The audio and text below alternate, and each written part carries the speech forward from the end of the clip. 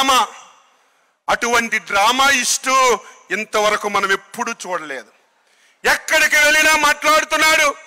నా బీసీలు నా ఎస్టీలు నా ఎస్టీలు నా మైనారిటీలని. ఏం జగన్మోహన్ రెడ్డి? నీకు మాట్లాడే నైతిక హక్కు ఉందా అని చెప్పి నేను ప్రశ్నిస్తున్నాను. మనం ఈ రాష్ట్రంలో ట్రాన్స్ఫర్లు చూసాం ఎవరికి? ఎంఆర్ఓలకి ఎండిఓలకి కలెక్టర్లకి ఆఫీసర్లకి ట్రాన్స్ఫర్లు చూసాం ఫస్ట్ టైం ఈ జగన్మోహన్ రెడ్డి ఎమ్మెల్యేలకి ఎంపీలకి ట్రాన్స్ఫర్ చేయడం మొదలుపెట్టాడు. ఎక్కడైనా ఉందా? ప్రజలంటే అంత పనికిమాని వాళ్ళ కనిపిస్తున్నారా? నువ్వు ఏది గీస్తే దాన్ని అమలు చేస్తారని అనుకుంటున్నావా? నీ మతం ఏంటి నా బీసీలు నా ఎస్టీలు నా ఎస్సీలు అంటున్నావు. ముప్పై ఏడు మందికి ట్రాన్స్ఫర్లు చేశాడు ముప్పై ఏడు మందికి. అందులో ఇరవై ఐదు మంది మన బీసీలు ఎస్సీలు ఎస్టీలు వాళ్ళే అమాయకులా? ఇప్పుడే పోతల పట్టు ఎమ్మెల్యే గురించి చెప్పాడు మా సోదరుడు. పోతల పట్టు ఎమ్మెల్యే ఆయన చేసిన తప్పేంటి? పెద్దిరెడ్డి కూర్చోమంటే కూర్చున్నాడు. పెద్దిరెడ్డి సంతకం పెట్టమంటే సంతకం పెట్టాడు. పెద్దిరెడ్డి లెగిసి దండం పెట్టమంటే దండం పెట్టాడు. నాలుగున్నర సంవత్సరాలు పెద్దిరెడ్డి చెప్పిందంతా చేస్తే ఈరోజు జగన్మోహన్ రెడ్డి ఆయన అవినీతి పరుడని ఆయన మీద రిపోర్ట్లన్నీ వ్యతిరేకంగా వస్తున్నాయని ఒక దళితుడికి నువ్వు ఎమ్మెల్యే టిక్కెట్ ఇవ్వకుండా ఏం? నీకు దమ్ము ధైర్యం ఉంటే నువ్వు నిజమైనటువంటి నాయకుడు అయితే పెద్దిరెడ్డి మీద ఎన్ని అవినీతి ఆరోపణలు ఉన్నాయో మీకు తెలుసు. వారి కుమారుడి మీద ఎన్ని అవినీతి ఆరోపణలు ఉన్నాయో తెలుసు.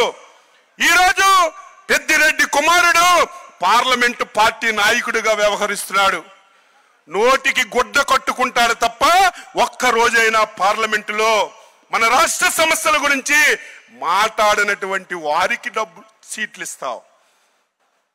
వైసీపీలో ఉన్నటువంటి నీ కమ్యూనిటీకి చెందినటువంటి వారసులకు సీట్లు ఇస్తావు కానీ మా బీసీలకి నోరు లేదు మా ఎస్సీలకి నోరు లేదు మా ఎస్టీలకి నోరు లేదని మమ్మల్ని ఈ రకంగా హింస పెడుతున్నావే. ఖబర్దార్ జగన్మోహన్ రెడ్డి రేపు రెండు వేల ఇరవై నాలుగు ఎలక్షన్లలో అచ్చెన్నాయుడు సంవత్సరం నుంచి చెప్తున్నాడు. నేను చెప్తే మీరు నమ్మలేదు. ఈయనకి పెద్ద నోరుంది. మైకు పట్టుకుంటే మాట్లాడుతాడని చాలా మంది ఎగతాళి చేశారు. నూట అరవై స్థానాలు. దానికి ఒకటో రెండో ఎక్కువ వస్తాయి తప్ప తగ్గినటువంటి పరిస్థితి లేదు. ఐదు సంవత్సరాలుగా ఈ రాష్ట్రంలో అన్ని వర్గాలు అన్ని జాతులు అన్ని మతాలు అన్ని కులాలు ఈ ఐదు సంవత్సరాల జగన్మోహన్ రెడ్డి పాలనలో నలిగిపోయారు అని చెప్పి సందర్భంగా తెలియజేస్తున్నాను. ఎప్పుడు అవకాశం వస్తుంది? కర్ర కాల్చి జగన్మోహన్ రెడ్డికి వాత పెట్టాలని. ఎప్పుడు అవకాశం వస్తుంది? జగన్మోహన్ రెడ్డిని వారి వైసీపీ పార్టీని బంగాళాఖాతంలో కలపాలని చెప్పి ప్రయత్నం చేస్తున్నారు. ఈరోజు ఒకటా రెండా చాలా మంది మాట్లాడాలి. డెబ్బై ఐదు వేల కోట్లు సప్లైన్ నిధులుంటే దాన్ని మొత్తం ఎత్తేసాడు నేను ఆదరణ బీసీ మంత్రిగా పెట్టాను. ఎంత నికృష్టుడంటే ఈ మాట అనకూడదు. నువ్వు ఒక పైసా ఇవ్వక్కర్లేదు. చంద్రబాబు నాయకత్వంలో ఈ రాష్ట్రంలో ఉన్నటువంటి నూట నలభై ఐదు కులాలకి ఎగ్జిబిషన్లు పెట్టి మీకు ఏ అవసరం ఉందో మీ వృత్తికి ఏది ఉపయోగపడుతుందో మీకు కావలసిన కంపెనీ మీరు సెలెక్ట్ చేసుకోండి అని రూపాయి విలువ చేస్తే పది పైసలు కట్టి తొంభై పైసలు చంద్రబాబు నాయుడు ఉచితంగా ఇచ్చాడు. సామాన్లు కొన్నాం. కొని ప్రతి నియోజకవర్గంలో గోడంల వరకు పంపించాం. ఈలోపు ఎలక్షన్ కోడ్ వచ్చింది. పంపిణీ చేయలేకపోయాం. ఏం జగన్మోహన్ రెడ్డి? నా బీసీలు అంటున్నావే. ఒక పైసా నువ్వు ఖర్చు పెట్టక్కర్లేదే. చంద్రబాబు నాయుడు కొన్నటువంటి ఆదరణ పరికరాలు గోడమ్స్లో ఉండి తుప్పి పట్టుపోతున్న ఇవ్వలేనటువంటి దుర్మార్గమైనటువంటి మనసు కలిగినటువంటి నువ్వు మా బీసీల గురించి మాట్లాడే నైతిక హక్కు ఎక్కడుందని చెప్పి నేను తెలియజేస్తున్నాను. మనం నిలదొక్కుకోవాలంటే మనకి విద్య ఉండాలి తెలివి ఉండాలి ఆర్థిక స్తోమత ఉండాలి. అందుకే నేను మంత్రిగా ఉంటే మీరందరికీ తెలుసు ఎన్టీ రామారావు గారు రెసిడెన్షియల్ స్కూల్స్ పెట్టారు. ఆ రెసిడెన్షియల్ స్కూల్స్ని చంద్రబాబు నాయకత్వంలో ఒకేసారి ఒక నియోజకవర్గానికి ఒక రెసిడెన్షియల్ స్కూల్ తప్పున నూట డెబ్బై ఐదు నియోజకవర్గాల్లో రెసిడెన్షియల్ స్కూల్ పెట్టాం.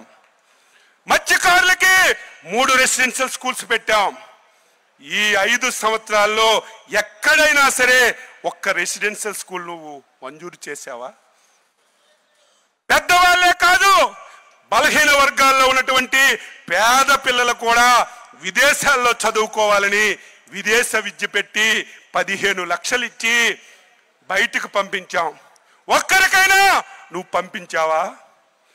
ఐఏఎస్ ఐపీఎస్ కోచింగ్కి పెద్దవాళ్ళే డబ్బున్న వాళ్ళే కాదు పేదవాళ్ళు కూడా ఢిల్లీలో చెన్నైలో ట్రైనింగ్ తీసుకోవాలని డబ్బు కట్టి వారికి ట్రైనింగ్ ఇప్పించి కాంపిటీషన్ పరీక్షల్లో పాల్గొనే విధంగా చేశాం.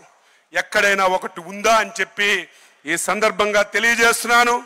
చెప్పాలంటే గంటల తరబడి చెప్పొచ్చు. అంత అన్యాయం చేశారు.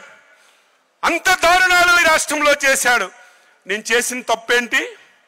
ప్రజాస్వామ్యం నాకు ఇచ్చినటువంటి హక్కు. ఒక ప్రభుత్వం అయినా ఒక ముఖ్యమంత్రి అయినా తప్పు చేస్తే అడిగే హక్కు నాకుంది. మాట్లాడే హక్కు నాకుంది. ఈ ప్రభుత్వం ఈ ముఖ్యమంత్రి చేస్తున్నటువంటి తప్పులు అసెంబ్లీలో బయట మాట్లాడుతున్నానని నా మీద కేసు పెట్టి డెబ్బై ఐదు రోజులు జైల్లో పెట్టాడు. మా రవీంద్రని యనమల రామకృష్ణుడు గారిని ఒక ఎస్సీ పెళ్ళికి వెళ్ళారని ఎస్సీ ఎస్టీ కేసు పెట్టారు.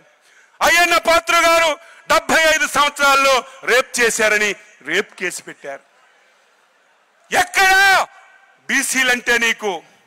ఈరోజు ఎంత దారుణం అంటే బీసీలు ఎవరైనా మాట్లాడితే కేసు పెట్టడం అరెస్ట్ చేయడం ఆస్తులు ధ్వంసం చేయడం ఇదే ఒక విధానంగా పెట్టుకొని పని చేస్తున్నటువంటి జగన్మోహన్ రెడ్డికి సాగనంపవలసిన అవసరం ఉంది. చంద్రబాబు నాయుడు ముఖ్యమంత్రి పదవి గురించో లేకపోతే మా అందరికీ ఎమ్మెల్యేలో ఎంపీలో మీకు కార్పొరేషన్లో మీకు అధికారం గురించి కాదు.